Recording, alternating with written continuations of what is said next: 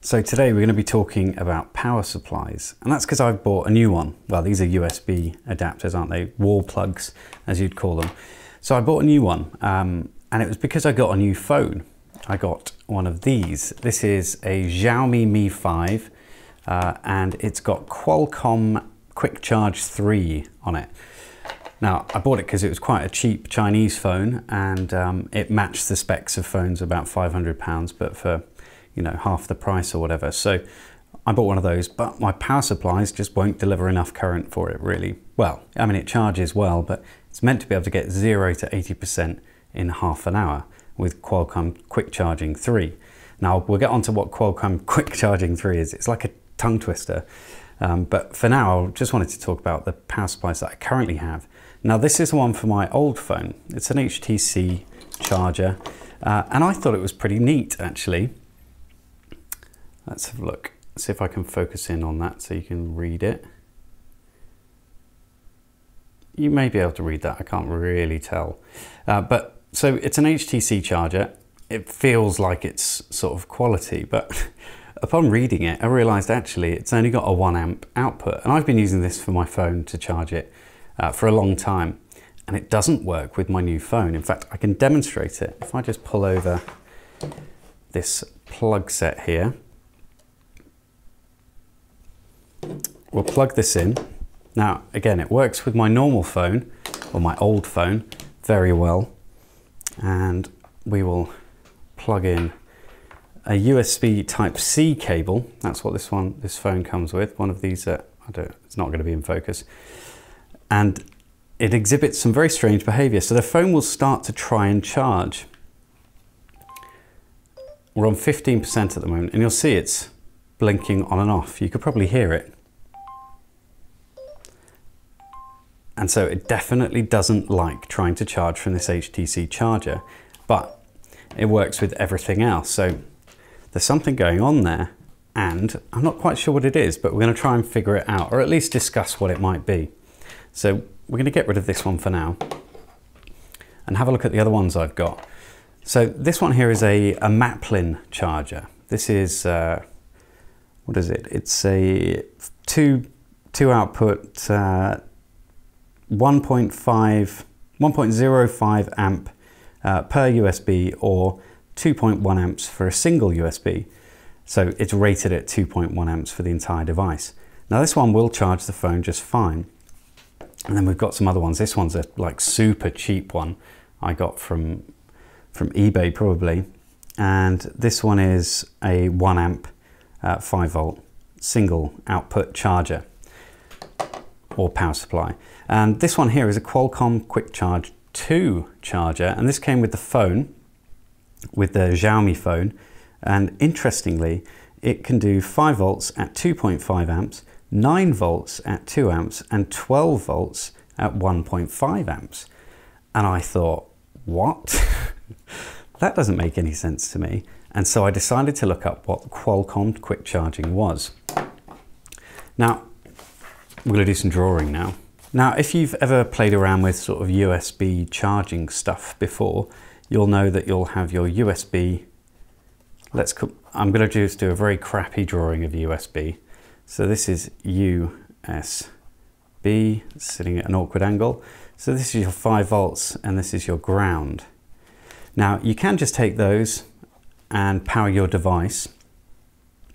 Um, but on the, sorry, you take it from here. So this is where your USB cable is coming out of. Uh, and so this is where your power and ground are going into the device. So the device is over here.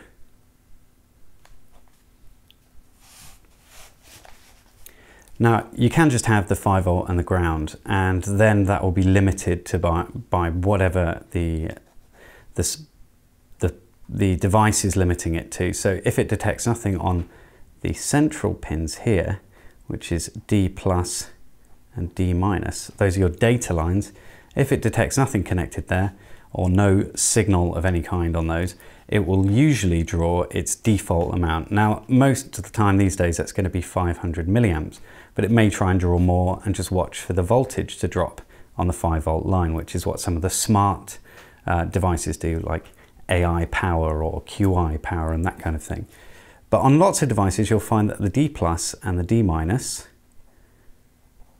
expect to see some kind of resistance on those two lines, either individually or connected together. So they might expect to see a resistance between D plus and D minus, or expect to see resistance on D plus and a different resistance on D minus. Now in Apple devices, you'll see something like this, which would be your D plus, your D minus, oops, D minus, uh, and this would have a resistor there. Uh, is that, no, that's not quite right. Uh, so yeah, let's do it properly. So a resistor here, and that would go to five volts. That's going to the D plus, and that one would go to ground. So just try and ignore the, the poor drawing. And then again, you would have the same thing here, another resistor there going to five volts, and then another one going to ground. And that's, so it's a resistor divider, and you're gonna give this one a, a separate voltage. So it might be that um, this is, I don't know, two volts, and this is 1.85 volts. Whatever the, the normal uh, iPhone thing is, that's the kind of thing you would expect to see. Now in other devices, you're gonna have D plus and D minus. In, when I say devices, I mean um, these USB chargers. You might just have these connected directly like that. In these Qualcomm quick charge devices, we have something completely different. Now, this is one of them here. So this is an Aukey uh, Powerall 3-port USB wall charger, quick charge 3, PA, what, all of this junk here, but actually it's just a quick charge 3 device and it's got one quick charge 3 port, which is the orange one there, and it's got two AI power ports. Now, let's just open this up. I don't have a knife with me, do I? No, we're gonna have to just tear it. There we go. Now this, I'm not going to take this apart because it cost me about 22 pounds, so I want to use it. There we go. So let's see what we get in here. User manual, that might be worthwhile looking at. Um, something. And then the actual charger itself and a micro USB cable. We don't need any of those. So this is the actual charger itself. Have we got anything written on here? Yeah, in horrendous black writing that I don't imagine you'll be able to read, but I can read it out for you. So we've got, um, it says, I could probably focus on it, let's see. That's about as good as it's going to get. So it says uh, AC 240 volts up to 1.2 amps max. So this is, uh, how many watts was this? It was something like 50 watt power supply. So it can output 5 volts at 4.8 amps or uh, 2.4 max each. That's on the AI power slots. So that's these two green ones here. And then on the uh, Quick Charge 3 one, it can output DC 3.6 to 6.5 at 3 amps, or 6.5 to 9 volts at 2 amps, 9 volts to 12 volts at 1.5 amps. Now how does it do that? Well, Qualcomm have developed a protocol for this. Uh, so they've got um, a chip that controls this and what it does is it, it demands the voltage from the, the, device itself, from the phone, it demands the voltage uh, to be delivered from the device. So if this is looking to charge at quick charge 3, it might demand a higher voltage and uh, an amperage. I don't know what the protocol is exactly. It's not all that easy to find. I think there's a data sheet that I didn't really understand, but um, I think it's really interesting, the uh, charging technology that's in this. It just looks like your standard USB power, uh, USB adapter, but actually it's able to deliver varying voltages, which is really cool. Uh, varying voltages that you want rather than ones that you don't, which I often find with the cheaper supplies. So what I'm going to do, uh, just as a little quick test, we're going to plug it in and uh, see what I can get from, what is that?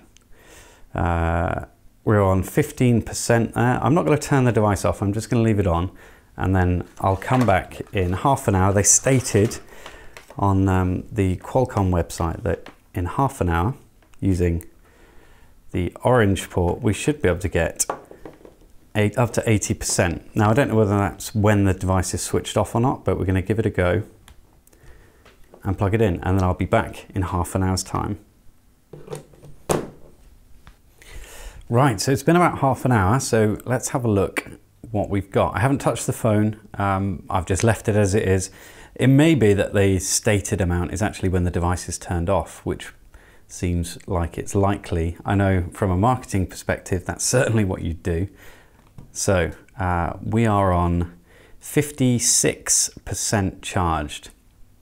So not the 80% that it stated, but I think again that is likely to be the stated amount if the device is powered off for, for getting from zero to 80% in half an hour.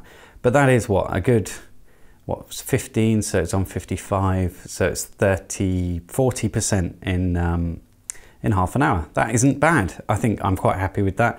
I think if I was in a desperate situation where I needed to charge it up for half an hour, I would switch it off. Now the reason I did this video, we can move that out of the way, I still need to charge it up, um, was to discuss power supplies and the fact that really you get what you pay for. So this Maplin power supply, which is really good, um, has a very stable voltage. Um, it kicks out uh, a little bit under five volts at full, um, full like two amps or whatever. Uh, so it's not perfect. I've got another two amp power supply that kicks out 5.2 at two amps, which is better. But this one was about six pounds. So, um, you know, it's not too bad. This one was one pound 99 delivered and it's a, a one amp uh, USB power supply which kicks out about 5 volts, a little bit under sometimes at, at uh, 1 amp, so not great. And uh, this very disappointing HTC one, but I guess this one was designed for the phone, so it could probably only charge at 1 amp. So uh, you do get what you pay for. And it's really interesting to sort of look at these how these devices are changing with our power supply needs. So this, uh, this phone has, I think it's around a 3000 milliamp hour battery inside. So it, to charge it up quickly enough, you do need a good power supply. So I'd love to hear your thoughts on power supplies, um, if you've come across any really good ones, and um, if you know any secrets of the Qualcomm protocol, that'd be really good to know.